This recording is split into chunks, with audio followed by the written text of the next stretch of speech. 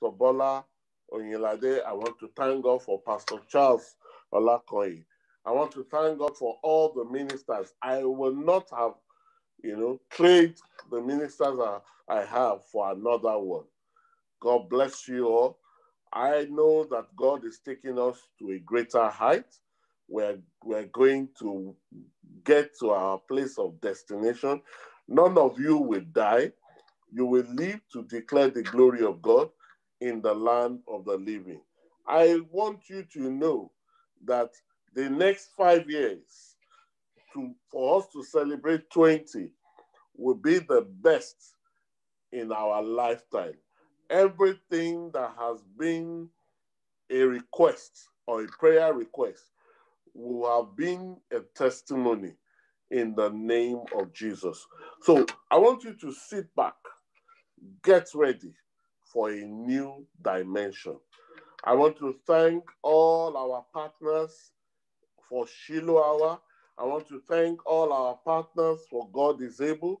I want to thank everyone, every program we have made for you being part of it. I want to thank God for all the prayer network, everybody that has supported this ministry one way or the other, have prayed for this ministry. My prayer is that your prayer will not be wasted in the name of Jesus. I want everyone to know that I love you and Jesus cares for you. So let's get ready for a new dimension. We're going higher. We are going higher. House of Resurrection is going higher. And that is our portion this season. Remember, we are entering into the month of Hallelujah. Hallelujah will not cease in your home. Hallelujah is an expression, heavenly language. And I want to thank God. And finally, I want to thank God for my pastor that has nurtured me, Pastor Wumi. God bless you, ma. God increase your anointing. And I know the Holy Spirit that has bind us together as one will never be broken in the name of Jesus.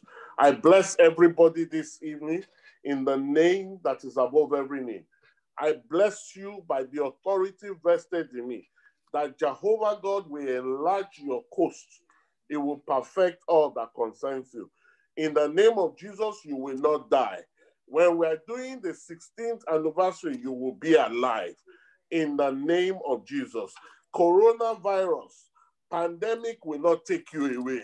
In the name of Jesus. I decree